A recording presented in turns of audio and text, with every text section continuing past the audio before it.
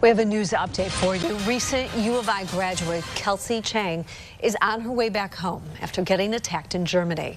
She was with her friend and fellow U of I graduate Eva Liu. The two were hiking near a castle last week when they encountered a 30-year-old man from Michigan. Police say he attacked Chang and Liu and threw them off of a cliff.